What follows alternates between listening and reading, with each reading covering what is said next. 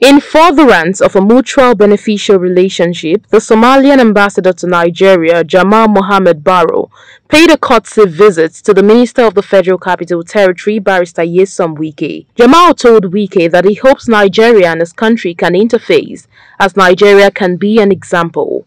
We hope that Nigeria is the best role model for, for Somalia now, since because we have gone through the same experiences, like civil war, like tourists, I mean, uh, tourists, all these things. So we feel that Nigeria can, can, can be our example in the future, exactly, especially the capital city of Abuja. Wike assured the ambassador of the administration's cooperation and support, including a land, to build a chancery. It is not easy when a country is facing war and then that retards development uh, I can imagine what you are passing uh, uh, through.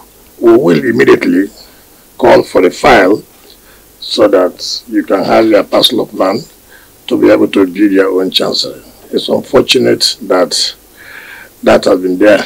I can assure you that after this discussion, I will, I will call for a file and have it uh, approved so you can start building, you know, on uh, uh, uh, Charles. Joy Igoche, ITV News.